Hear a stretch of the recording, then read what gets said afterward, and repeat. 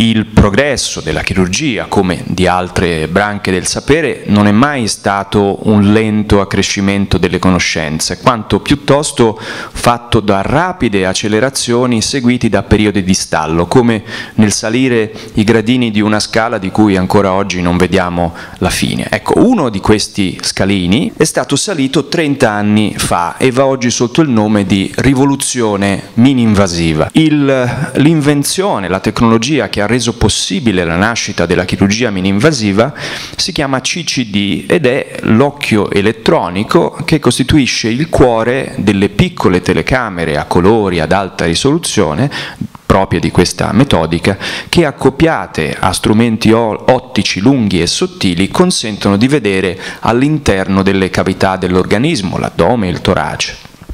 Quindi il chirurgo non opera più guardando direttamente il suo paziente, ma guardando un monitor che gli restituisce le immagini di questa telecamera. Ha entrambe le mani libere per lavorare passando attraverso altri piccoli forellini e può essere aiutato da un assistente che condivide la stessa immagine. Si riduce considerevolmente il dolore post-operatorio, le complicanze sono in genere minori, si va a casa prima e il vantaggio estetico è a tutti evidente. Tuttavia il frettoloso passaggio dalla metodica tradizionale a cielo aperto a quella mini-invasiva ha portato con sé anche qualche problema. Eh, uno dei problemi è quello che non vediamo più in tre dimensioni, ma vediamo su un monitor che è piatto, bidimensionale e in più abbiamo quasi del tutto rinunciato al senso del tatto, che è l'altro senso importante che il chirurgo ha nel corso di un intervento. Allora, uno dei sistemi per eh, compensare questa perdita di sensorialità è quella di implementare delle tecniche di realtà aumentata nel corso dell'intervento, cioè la possibilità di fondere la diagnostica preoperatoria eh, ricavata dalla TAC con la visione diretta dell'intervento. In eh, anni più recenti mm, ci siamo impegnati a studiare altri sistemi per la pianificazione dell'intervento. Uno è quello, per esempio, esempio, che stiamo facendo a Pavia, di utilizzare delle stampanti tridimensionali per ottenere degli oggetti fisici che rappresentano l'anatomia del paziente che dobbiamo operare. Questo viene utilizzato sia per spiegare al paziente ciò che dovremo fare, ed è già un passaggio importante, che per la formazione dei chirurghi più giovani, che per la nostra navigazione intraoperatoria. Il limite è anche rappresentato dalla natura fisica degli strumenti che utilizziamo. Sono strumenti lunghi e sottili con in punta un'estremità funzionale funzionale, pinze, forbici, ritrattori ed altro. Si sente la necessità di avere un'altra categoria di strumenti, strumenti che abbiano un polso interno come la nostra mano, che consenta di approcciare le strutture con l'angolo giusto. Ecco, strumenti di questa natura non sono però controllabili attraverso un sistema puramente meccanico, ma ci vogliono sistemi cosiddetti meccatronici. Questi sistemi si chiamano telemanipolatori, ma sono quelli che impropriamente ormai tutti quanti, compresi noi, chiamiamo sistemi robotici. I sistemi robotici hanno due componenti, la console a cui siede il chirurgo e il carrello paziente che è fatto da questa specie di dea Kali con quattro braccia, una tiene la telecamera, le altre tre tengono gli strumentari eh, che sono strumenti intercambiabili con un polso interno, il chirurgo guarda in un visore che gli restituisce finalmente un'immagine tridimensionale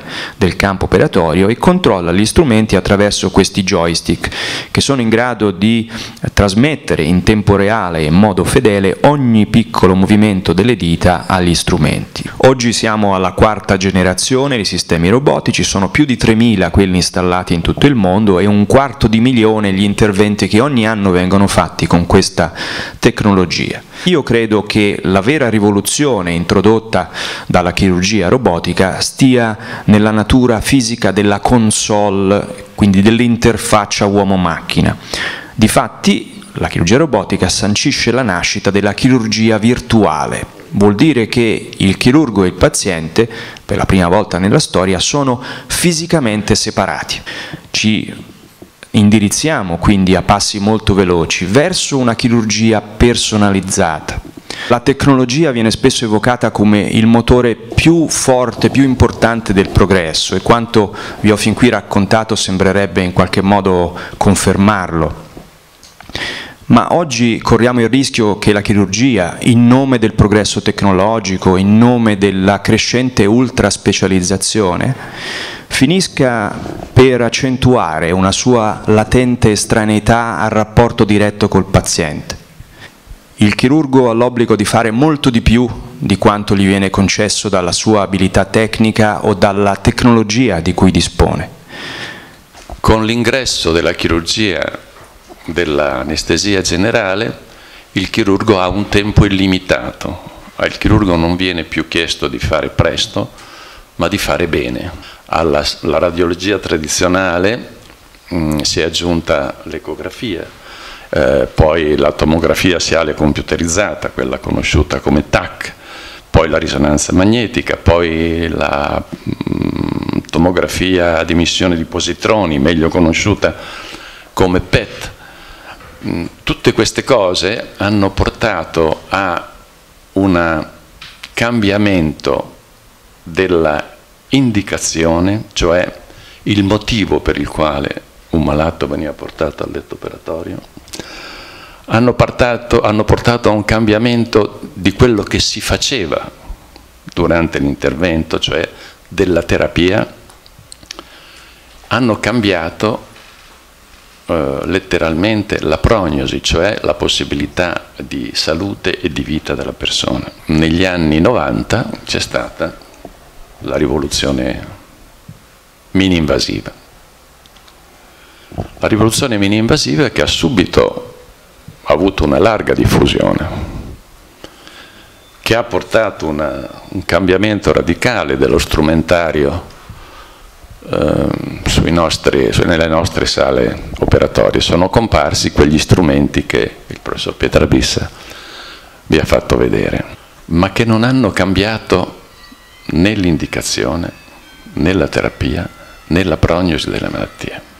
La chirurgia robotica non possiamo dire che si sia diffusa rapidamente nelle nostre sale operatorie, anche perché gli obiettivi sono quelli uguali della chirurgia meno-invasiva. Noi oggi da benestanti chiediamo una sanità sempre più efficace e a, a questa domanda la società risponde con un aumento, con una tecnologia sempre più sofisticata. Ma quando si parla di tecnologia si parla di economia si parla di costi.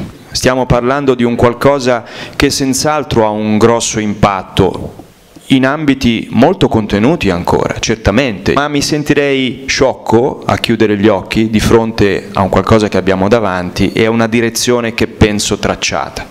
Certo, dobbiamo fare, conto, fare i conti con i costi, che sono difficilmente sostenibili in questo momento, ma è un altro tipo di ragionamento. Se la domanda è nel nostro futuro ci sarà la chirurgia robotica, io rispondo sì,